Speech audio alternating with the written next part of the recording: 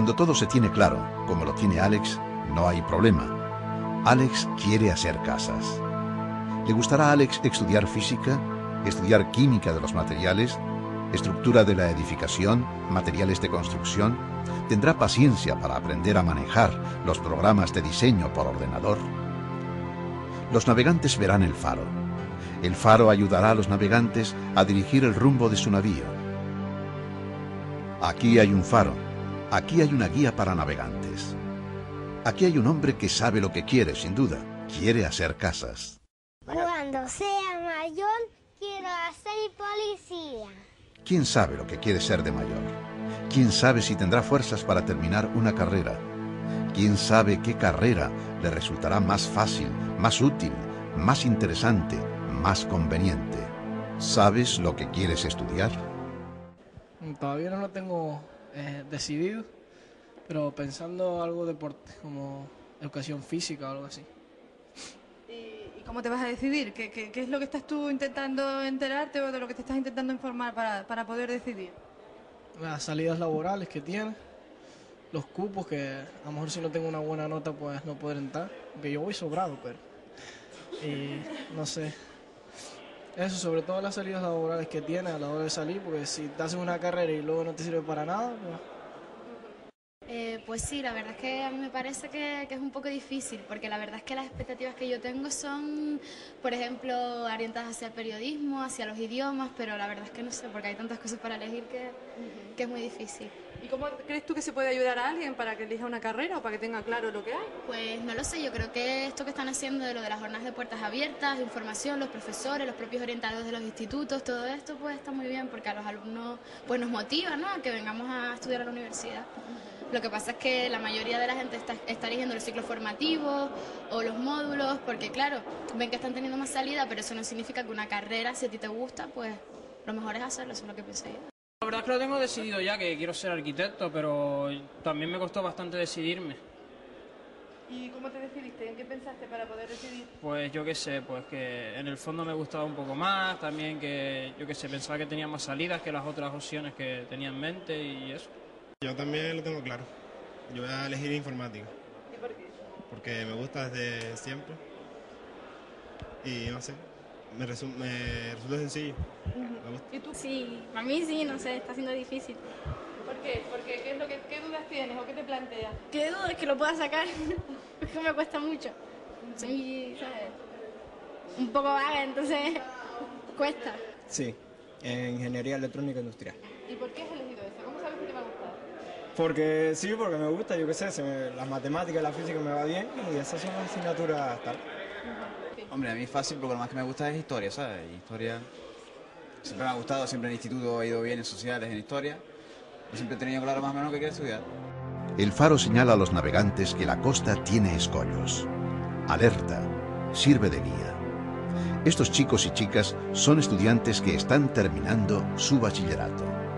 Muchos quieren seguir una carrera universitaria. Algunos tendrán que solicitar becas. Otros tendrán que cambiar de residencia a buscar alojamiento.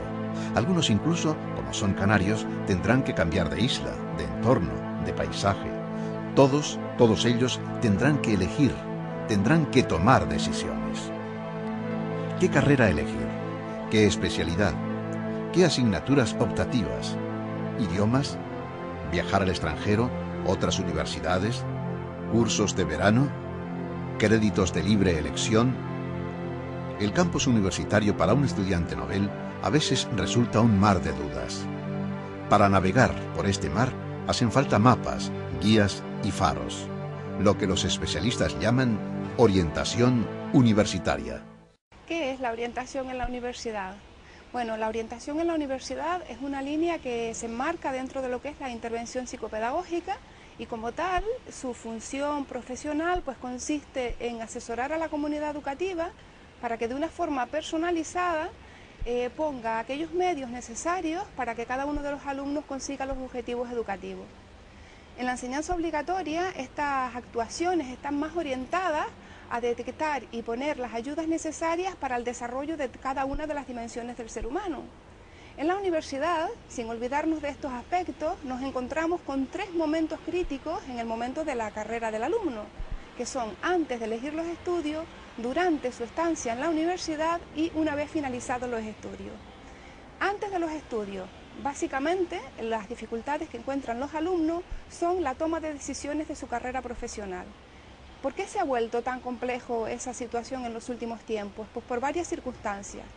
La primera de ellas es que la universidad en los últimos años, queriendo dar respuesta a las necesidades o a las demandas que la sociedad le ha hecho, a las demandas profesionales, pues ha diversificado mucho su oferta formativa y se han multiplicado las titulaciones universitarias.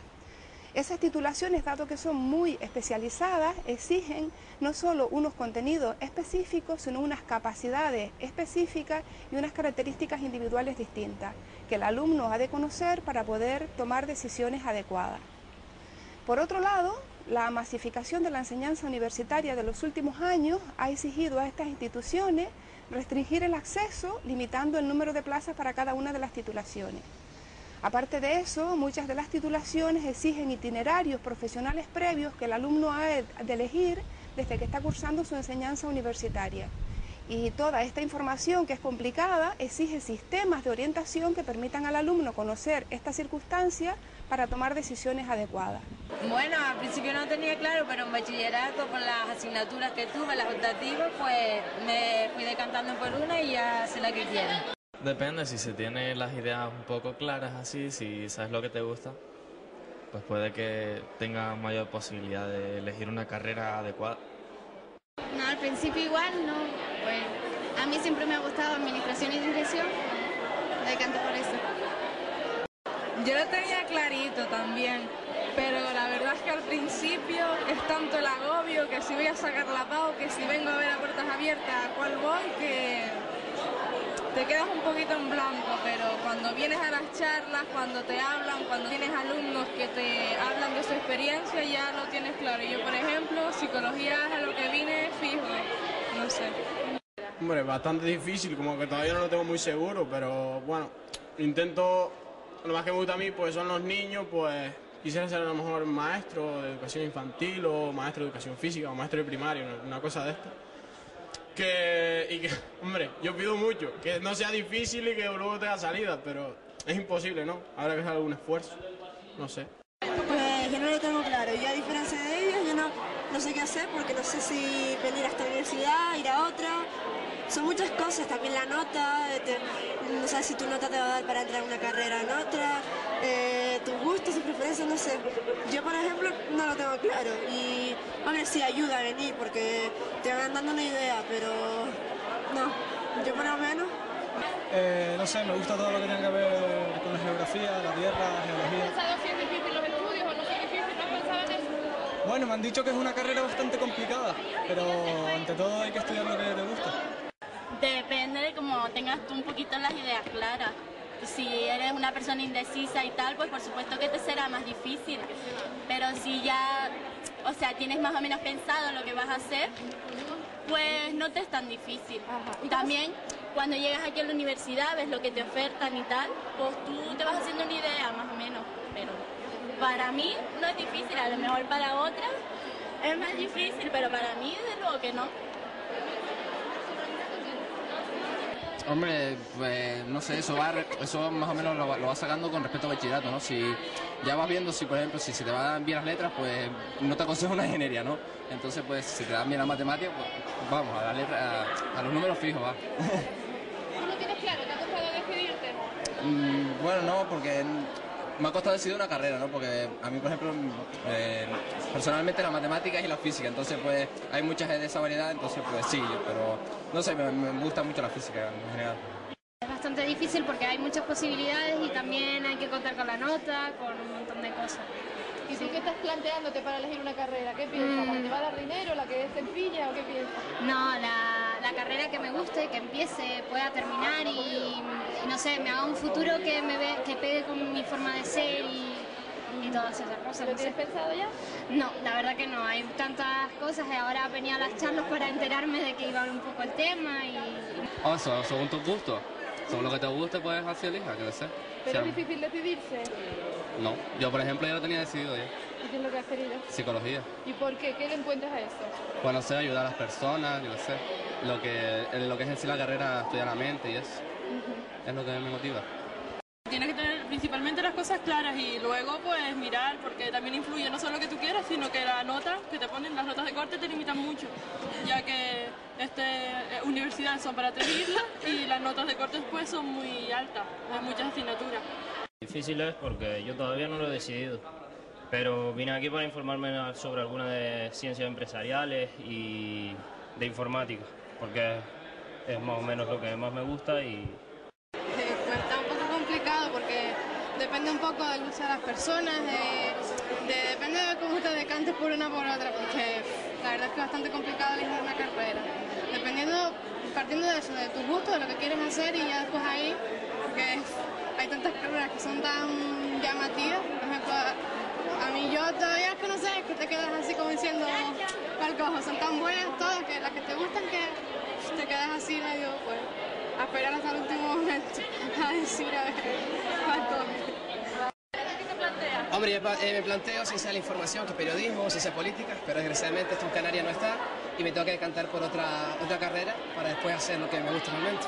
Geografía e historia son las que tienen posibilidades y espero conseguirlo. Vienen con una idea, aproximada, confusa, a veces idealizada, distorsionada incluso. Vienen con unas expectativas. Hasta ahora han vivido en un mundo educativo muy diferente. El colegio, el instituto, la universidad tiene otras reglas. Es un juego distinto. La universidad les va a pedir que se comporten de una forma nueva. Ellos esperan algo de la universidad, pero la universidad también espera algo de ellos. ¿Lograrán coincidir? Finalmente, además de otras muchas cuestiones, hay que tener en cuenta también que socialmente cada vez se ha desvirtuado más la imagen de la universidad como institución donde eh, con finalidad de desarrollo y de adquisición de conocimiento científico. Y la concepción que se está desarrollando en los últimos años es que la universidad es una ampliación de la secundaria y que su única finalidad es formar para un trabajo profesional. Claro, cuando el alumno llega, pues se encuentra con una realidad totalmente distinta que desconocía, lo que le decepciona, le desmotiva y le, convierte o le, o le incita a dejar la universidad.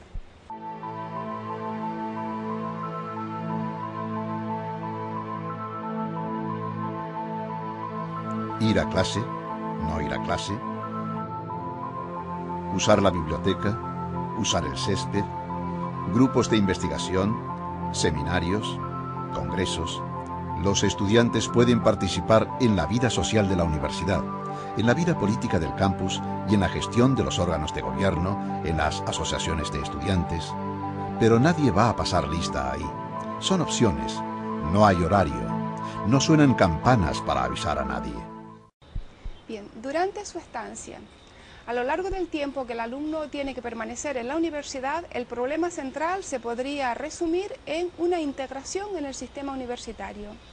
¿Por qué es dificultoso integrarse en la universidad? Por varias razones. La primera de ellas es porque la universidad ya no es una familia como sucedía en el siglo pasado, sino que es una gran empresa y dado a los medios telemáticos muchas veces el alumno ni siquiera conoce al profesor.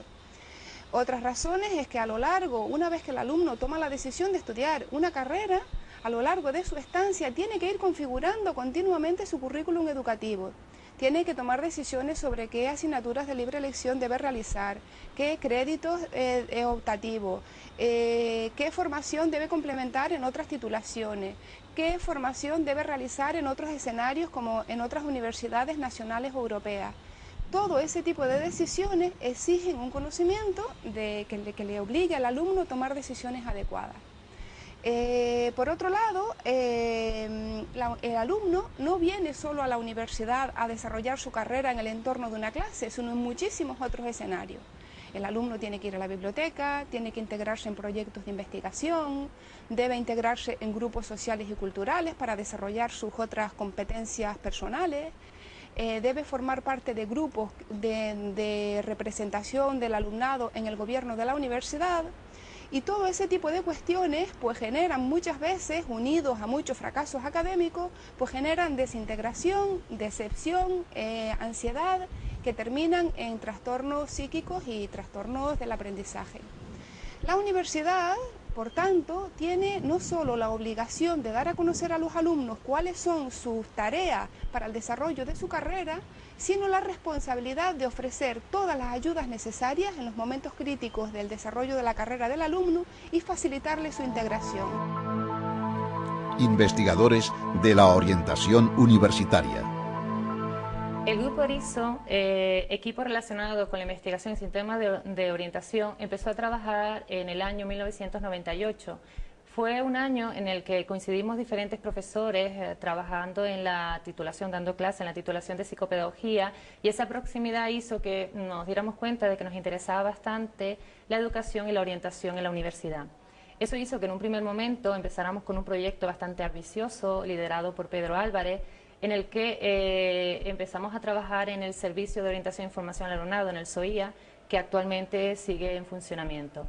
Dentro de los trabajos que empezamos a realizar en ese servicio, uno de ellos era eh, la línea de, investigación. Eso nos ha llevado que en, esto, en este tiempo hemos realizado diferentes investigaciones, todas ellas pues vinculadas con la orientación universitaria, la transición, la toma de decisión y todos aquellos eh, problemas que hemos ido detectando tanto en nuestro alumnado en la Facultad de Educación como eh, actualmente estamos trabajando con todo el alumnado de toda la universidad. Hola, buenos días. ¿Qué tal? ¿En qué puedo ayudarla? Pues mira, yo estoy en tercero de pedagogía y como que los créditos de libre elección no lo tengo muy claro y a ver si me podéis informar un poquito sobre esto. Perfecto, voy a buscar el plan de estudios porque te puede ayudar y así también te llevas esta información. Mira, en pedagogía eh, tú tienes que hacer 32 créditos de libre elección. Créditos de libre elección significa que vas a cursar unas asignaturas que tú eliges las que quieras cursar y pueden ser, eh, la universidad oferta un conjunto de asignaturas en diferentes carreras y un conjunto de seminarios. Entonces tú, a principio de curso, buscas esa información que la puedes encontrar en la página web de la universidad, donde aparecen asignaturas de libre elección, o, o, vas a la biblioteca y hay un libro donde aparece. Entonces lo único que tienes que hacer es ver qué te interesaría para mejorar tu formación, puedes hacer desde ir a, medicina, ir a derecho, ir a cualquier facultad y en total tienes que hacer 32 créditos. Mm, ha habido un hecho, como han contado ya mis compañeros, que yo creo que ha marcado en gran medida pues, la trayectoria de, la investigación que ha realizado el Grupo ERISO y ha sido pues, bueno, la pertenencia en distintos momentos al SOIA, que es un servicio de orientación universitaria. Eh, como digo, la pertenencia al SOIA pues, nos ayudó a definir y a delimitar el contexto y el ámbito que queríamos investigar. Y mm, como consecuencia de esta, de esta tarea que llevamos a cabo en el servicio de orientación, mm, eh, establecimos que nuestra, nuestro área de trabajo iba a ser el ámbito de la orientación universitaria y desde esa perspectiva, pues bueno, la, la trayectoria del grupo de investigación eh, ha tenido pues como finalidad básica eh, llevar a cabo eh, diferentes estudios que tuviesen como finalidad última poder ayudar a los alumnos a resolver problemas y dudas que tuviesen que ver con su, su, recorrido, con su formación en, en el tiempo que durase su formación universitaria.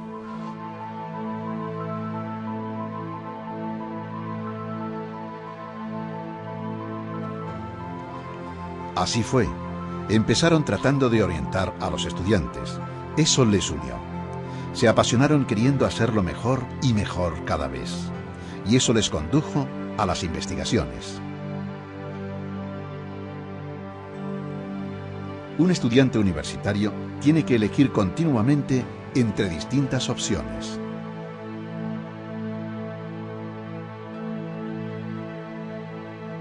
Pues llevamos a cabo inicialmente una investigación que estuvo centrado en la optatividad y bueno, con, con ese estudio, con esa investigación lo que pretendíamos era analizar eh, qué criterios, básicamente qué criterios utilizaban los alumnos a la hora de decidir qué, eh, asignaturas optativas eh, querían elegir a la hora de conformar su, su, itinerario profesional. Como resultado, digamos, más significativo de este estudio, pues bueno, encontramos que los alumnos tenían eh, una gran carencia de información acerca de, la, de, la, de las distintas optativas a las que podían optar en, su formación universitaria y eh, también nos, resultó eh, bastante llamativo el hecho de que a la hora de elegir, pues los alumnos utilizaban sobre todo criterios no académicos, como podían ser el número de créditos o el horario a la hora de elegir las asignaturas optativas.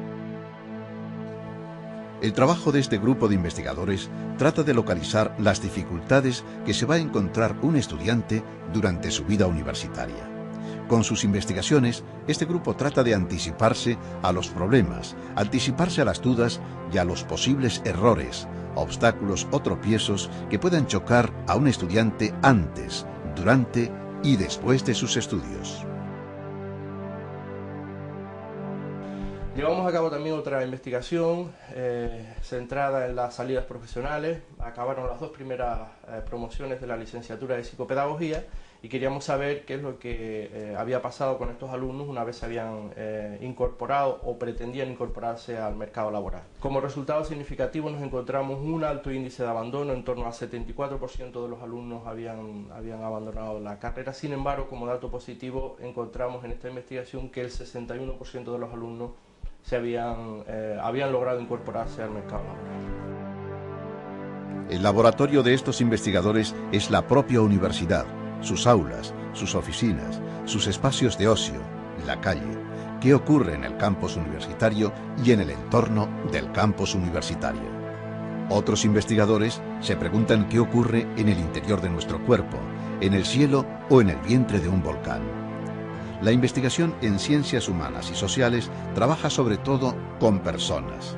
¿Qué ocurre en el interior de la voluntad de un estudiante universitario para que, por ejemplo, abandone los estudios?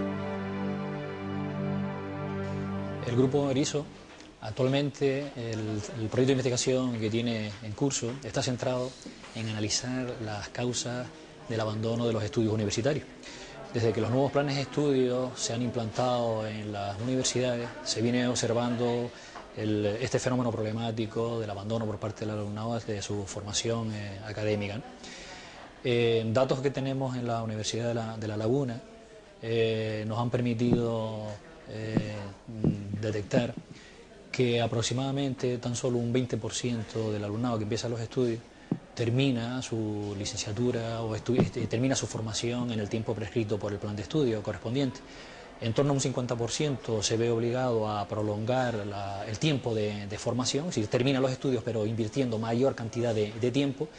Y hay un tercer grupo de estudiantes que es lo que precisamente nos ha suscitado el interés eh, para analizar, que son aquellos que abandonan su formación. Este grupo, este tercer grupo de, estudiantes está cifrado en torno a un 30%. Eh, por datos facilitados por el Gabinete de Análisis y Planificación de la, Universidad de la, Laguna, sabemos de que incluso a lo largo de distintas, distintas promociones, distintos cursos académicos, más o menos estas tasas se vienen eh, manteniendo.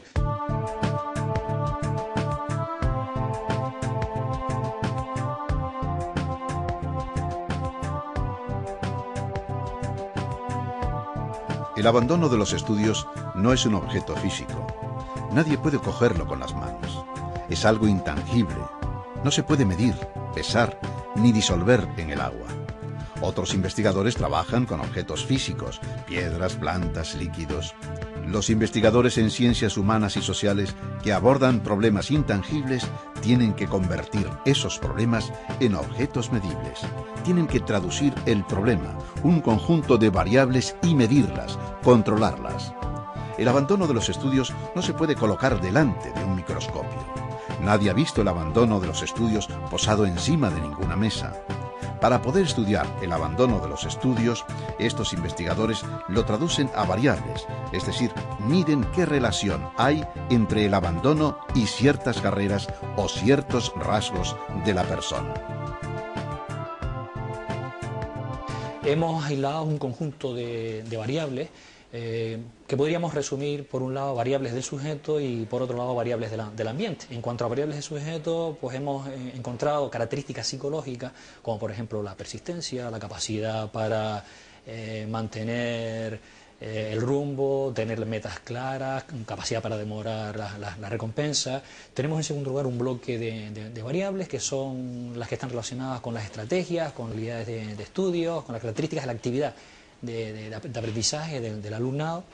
Eh, y ya en el, en el, bloque de variables que tienen que ver más con el contexto, con el ambiente, tenemos las características de, las propias carreras y por otro lado características del profesorado. Pues bien, de momento, por los datos preliminares con los que vamos contando ya, hemos descubierto que las variables del, del sujeto y más concretamente las características psicológicas y las estrategias de aprendizaje del alumnado son las que más fuertemente diferencian a estos tres grupos, es decir, al grupo que termina frente al que prolonga y en comparación al que eh, abandona.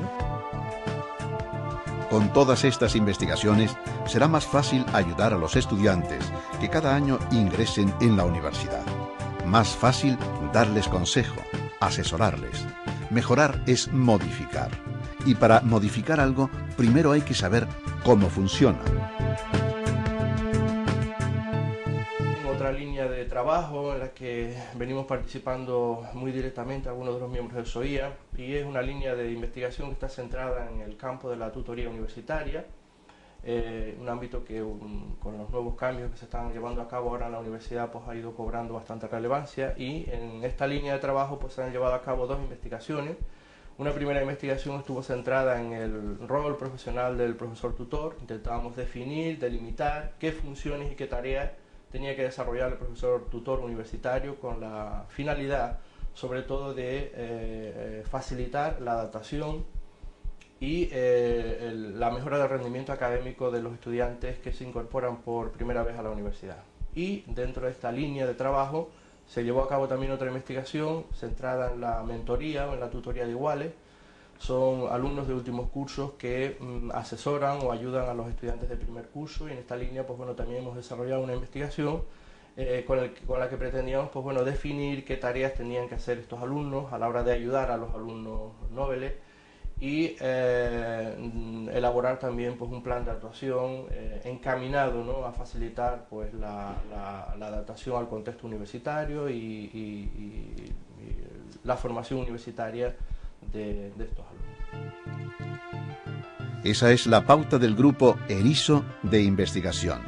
Investigar, averiguar y proponer comportamientos nuevos, cambios en las formas de actuar dentro de la universidad.